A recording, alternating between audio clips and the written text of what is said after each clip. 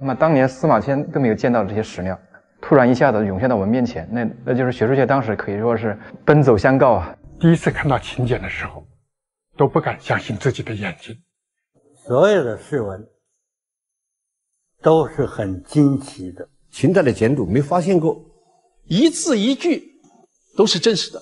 这是两封穿越千年的秦国家书。当他们第一次从云梦县睡虎地被挖出来时，在场的专家们无不是泪流满襟，只因为短短的五百二十七个字，却道出了一个有血有肉的秦国，更包含着一对兄弟对家乡老母、兄长及妻儿的挂念。那么，这份家书背后究竟有何秘密？真正的秦朝又是怎样的呢？接下来，让我们带着这两份竹简，穿越回那个血雨腥风的年代。这两封家书是在一个不起眼的秦国小墓里找到的。从墓志铭可知，墓主人叫钟，写信的则是他的两个亲兄弟黑夫和荆。彼时他们正在前线浴血奋战。史书记载，这一年为了拿下最后一个强敌楚国，始皇帝不惜发动二十万精锐，交由将军李信统领。关于战争的具体场面，我们无从所知。但在黑夫写给母亲的信里，有这样一句话。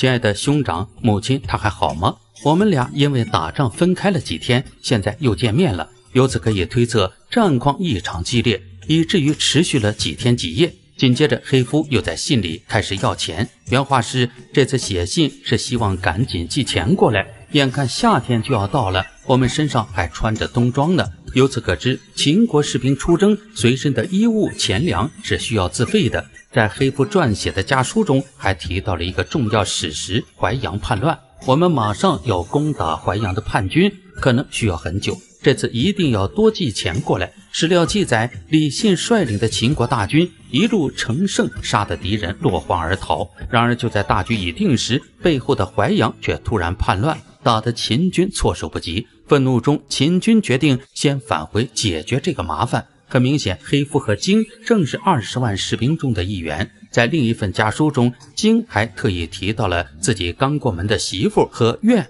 叮嘱她要和婆婆和谐相处。出门砍柴时不要走得太远，尤其是注意那些被秦国攻占的地方，治安太乱，能不去就不去。从这里可以看出，彼时的天下动荡不安，盗贼流寇横行，老百姓生活艰难。有趣的是，在经写给母亲的家书中，还提到了借钱一事。我和战友袁柏借的钱要到期了，至少五六百钱，先寄过来，否则我就死定了！快快快！想不到两千年前的老祖宗们还有如此可爱的一面。可以料想，这位名叫袁柏的家伙一定孔武有力，膀大腰圆，否则也不会把经吓成这副样子。当然了，兄弟俩如此理直气壮地向家里伸手。主要还是因为他们是在为家族拼搏。当时的秦国奉行军功爵位制，在战场上斩首敌人，拿着他的脑袋就可以换取房产、田地乃至仆人，多劳多得。类似黑夫和荆这样的底层出身，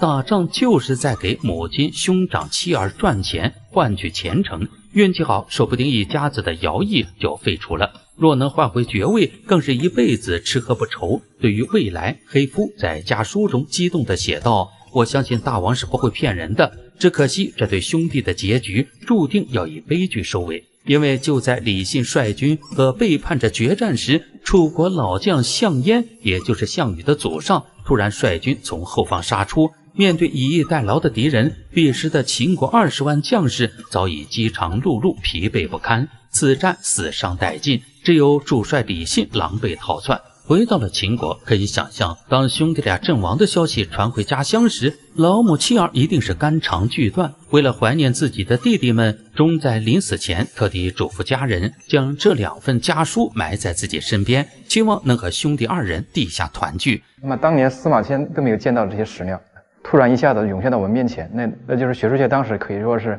奔走相告啊！第一次看到秦简的时候。都不敢相信自己的眼睛。所有的诗文都是很惊奇的。秦代的简牍没发现过一字一句都是真实的。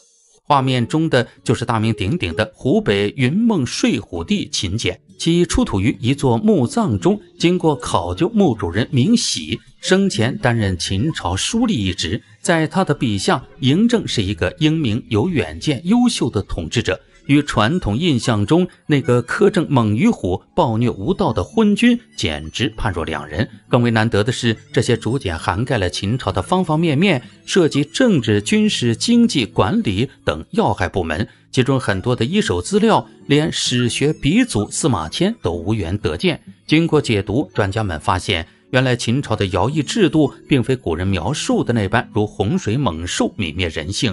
政府规定，老百姓服徭役期间。吃住全由公家负责，而且只要满一年，此后就仅需服役一个月。若身体不适或家中走不开，还可以付钱让他人代为服役，并且朝廷还严令每家每户出一人即可，其余的在家侍奉老人，供给生产。可以说，在封建年代，如此人性化的制度，打着灯笼都难找了。正因为如此，西汉建国初期，刘邦力排众议，完全继承了秦国的徭役制度，这才有了后来的文景之治，盛世强悍。然而，到了后代文人笔下，却被弯曲成了逼人造反的祸端。尤其是陈胜吴广，因天降大雨，耽误了集合日期。怕掉脑袋，便怂恿众人揭竿为旗，原地起义。现在看来，不过是造谣生事的伎俩罢了。在这四万字中，还提到了秦国独有的军爵律，这也是秦始皇统一六国、横扫寰宇的核心。从上到下，将爵位分为二十级，最低的叫公士，最高的称彻侯。不论贵贱，无论出身，只要能在战场上斩将夺旗，就可以封荫蒙子，享受荣华富贵。甚至获得土地，世世代代传下去。而这点与上个视频里提到的两封家书完美连结。黑夫与荆的哥哥就是公室，从他一直在家里侍奉老母来看，这个爵位很可能是兄弟二人为亲哥哥赚来的。由此可见，真正的秦朝是一个有活力、有冲劲儿的热土，只要你敢想敢做，就能成就一番事业。而最高统治者秦始皇有血有肉，绝非后世抹黑的那般死气沉沉、恐怖阴森。他爱民如子，有雄心，有远见，毕生致力于一统天下、澄清寰宇，为炎黄子孙打下一个牢不可破的江山。关于竹简，还有很多急需破解的地方，相信终有一天，上述真相会大白于天下。对此你怎么看？欢迎在评论区留言讨论。我们下期不见不散。